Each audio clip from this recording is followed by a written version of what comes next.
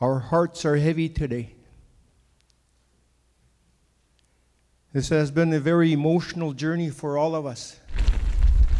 In November 2021, the Star Blanket Cree Nation began ground penetrating radar search at the site of the former LeBret Indian Industrial School, about 75 kilometers northeast of Regina.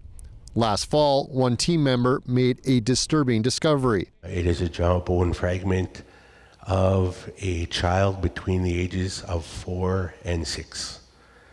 Uh, the bone fragment has been aged to be about 125 years old, which puts us in the first school era. So that brings us back to about 1898. Uh, so this is um, physical physical evidence, physical proof of uh, of uh, an un- unmarked grave.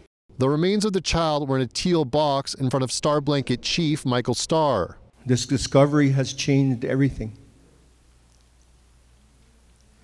It's changed the things that we're going to do.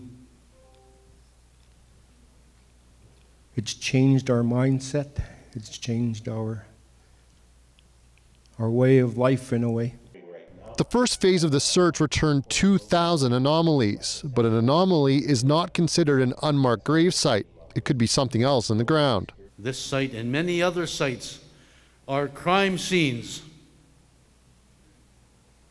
Those are crime scenes that must be addressed immediately.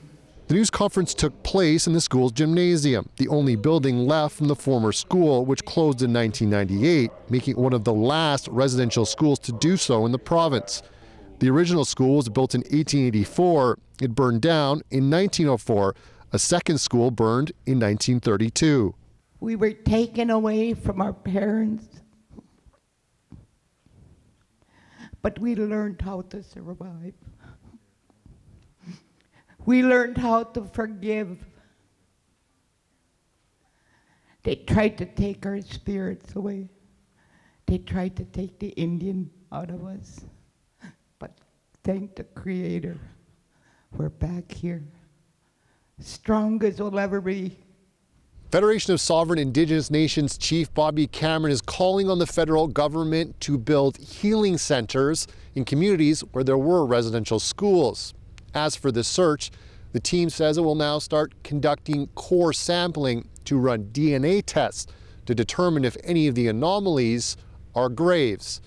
Adam Hunter, CBC News on the Star Blanket Cree Nation.